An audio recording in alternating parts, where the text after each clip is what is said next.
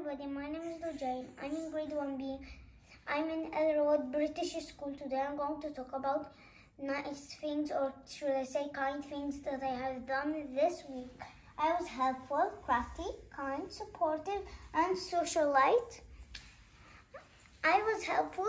I helped my mother put the ornaments of Ramadan to celebrate Ramadan on the wall.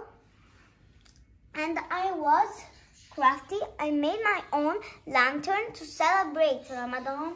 And I was kind. I always feed my baby brother to help my mom because she's always busy.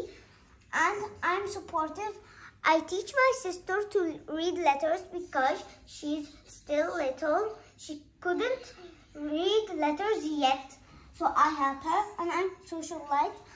Personal, I am I may upload my own videos. I put them on my website and I also share them on my website to other um, friends and other people so I can share my ideas and also uh, my website is www.lujainmuhammad megahead.com and that's all for the topic today. Goodbye. Look at my cloud first before you leave. Look.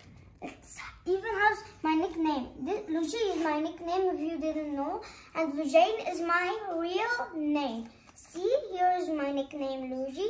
And here are all of our ideas that I, and it's not our ideas, it's things that I did this week for my kindness.